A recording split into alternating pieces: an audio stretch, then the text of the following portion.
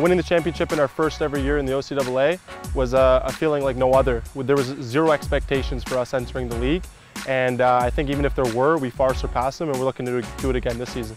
Yeah, Malcolm was a great captain uh, last, last season for us. He really kept the players grounded, was a great communicator, um, both on the field and off. Uh, what stands out about Ty Jacob the most is every time he makes touches the ball, he's going to make ground for us. Uh, he's also the ability to lead quietly. Yeah, Coop was effective uh, getting into the try just just from our attack. He's got a nose for the goal line and uh, and can find it regularly uh, when we're when we're on attack um, within the 22 meter line. As soon as we uh, as soon as we hoisted the uh, the plaque at the end of the year, we knew that we were going to be a threat in the following year. We already started prepping for that. So we, we brought in the, the pieces that we need to make a difference and expectations already set that we, that we do it again.